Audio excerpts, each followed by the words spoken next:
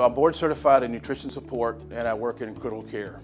My employers uh, got together and decided that anybody that's a clinical specialist should be board certified in an area. So the current practice at that time at the health system was me doing a lot of nutrition support, so it only made sense for me to get certified in nutrition support. It helps me take care of my patients in a, a more beneficial manner, and I think it gives others confidence in my abilities as well.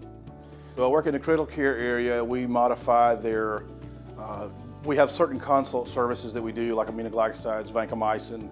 Uh, we do the TPNs for those patients. So we manage the total patient in the ICU from a collaborative practice agreement we have with our physicians. We are able to manage certain things like electrolyte protocols.